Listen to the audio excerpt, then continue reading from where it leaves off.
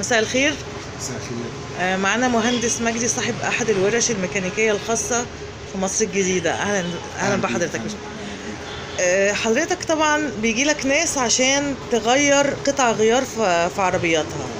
هما بيجيبوا لك قطعة الغيار ولا حضرتك اللي بتجيبها؟ والله هو لو جبتها أنا بيكون أفضل لأن هم ممكن يضحك عليهم في إنهم بيجيبوا حاجات صيني مش أصلية. وقطعه الغيار الصيني اللي مش أصلية بتبقى شبيهة للأصلية. بس للأسف كفاءتها بتبقى أقل وبتعمل تلف كبير في الموتور. طب بنعرف بتعرف منين هو ال- ال- اللي شاريها ده ممكن يبقى شاريها على إنها أصلي؟ بيشتريها على إنها اصل زي طنبات البنزين مثلا بيتكتب عليها ميد ان جيرماني وهي مش ألماني خالص كلها صيني اللي موجودة في السوق. إلا لو اتباعت كاملة كلها بالعوامة بالحاجات دي دي بتبقى أصلية ومكتوب عليها ميد ان كوريا مدموغه مش مش مطبوعة. طب بتعرف منين؟ أنا بعرفها بقى بصفتي أنا إيدي فيها على طول عارف الصيني وعارف الأصلي وعارف الحاجات دي كلها. فأنا بقدر أفيد الزبون إن أنا اللي أجيب له حاجتها مش هو هو هيضحك عليه وهو زي ما هيجيبها لي هركبها. وهيمشي بيها يومين ثلاثة ويجي يقول لي العطل زي ما هو لأنها مش أصلية. طيب.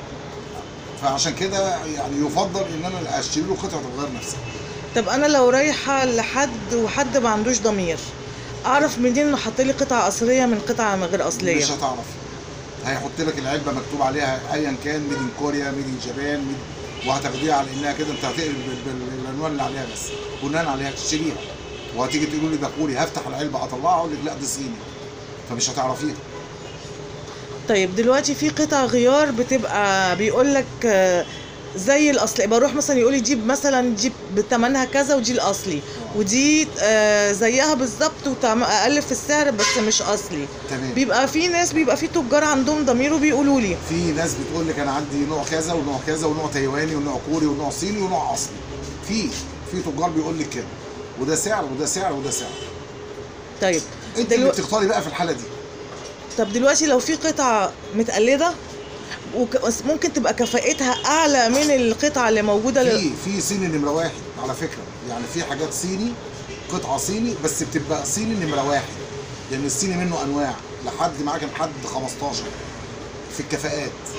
وبتبقى غالية. وعلى فكرة ممكن تكون غالية من اصل أغلى من الاصل كمان. لأنها بتبقى نمرة واحد. حاجة محترمة نظيفة. طب دي ممكن تأذي العربية؟ لا.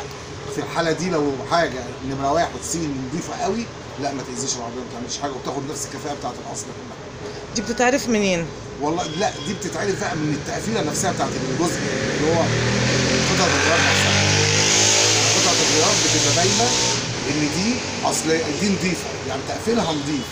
وفي صيني بيبقى معمول تحس إنه معمول بالإيد كده حاجات حط البلاستيك اللي عليه أو الفبر لو عليه فبر أو حاجة بتبقى حاجات زي ما يكون حاجة سايحة عليها مش حاجة مطبوخة من مش اسطمبة معينة عاملاها. مش الاسطمبة الأصلية كده. طب الخراطيم مثلا لو الخرطوم مش أصلي يأذي العربية إزاي؟ يأذيها لما مجرد ما يسخن بيضرب. يضرب يف- يفضي الميه يحرق موتور يضرب جوار مش سلندر على طول. طب بوجيهات؟ البوجيهات برضو نفس الكلام. ممكن وانت ماشية بيها تقطع منك وتبطل ما تدورش لو مش أصلية. آه. طب في قطع غيار ممكن تبقى أعلى وتبوظ العربية؟ تبقى أعلى من الكفاءة فتبوظ العربية؟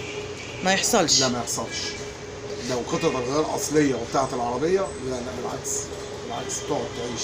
يعني أنا مش شرط أستخدم القطعة ال- لو أنا بس بتعامل مش في التوكيل بتعامل بره التوكيل. بره التوكيل. مش شرط أتعامل مع القطع اللي موصي بيها من الشركة أو المعتمدة من الشركة. المهم يكون بتاع قطع الغيار عنده ضمير يقول لك ده أصلي ده مش أصلي. ده أصلي ده صيني ده كوري ده تايواني ده إنجليزي. يقول لك وبناء عليه زي ما هيقول لك هتقولي لي أنا كصاحب ورشة بركبها لك بعرف أقول لك لا دي كوري دي تايواني دي صيني. هو ضحك عليك هو قال لك كل لا ده صيني. بيرجعها ساعات الم... يرجعها دي ما تنفعش ما تنفعش. يعني أنا جات لي من شوية برضو عربية اللي هي الار بي اللي واقفة بره دي أنا جاب لي مروحة ومكتوب عليها made in Korea لا آه طلع صيني. ودورت على الأصلية بتاعتها لقيتها ب 4000 وشوية. طبعا هي غالية جدا على الزبون. فاضطريت إن أجيب واحدة استيراد اركبها أضمن وأحسن. الاستيراد بتبقى مفكوكة من نفس جزء العربية فبديها بركبها هي بتاعتها الأصلية. آه يعني إحنا لو ما لقيناش القطعة الأصلية والتقليد بتاعها مش كويس بتجيب استيراد آه يعني الحرفيين موجودة عندهم حاجات حلوة كتير وبتاعت العربية أنا بفكها من العربية من جزء من العربية اللي هم قاطعينها نصين فبتبقى أضمن ليا ولصاحب العربية. ماشي. شكرا يا باشمهندس.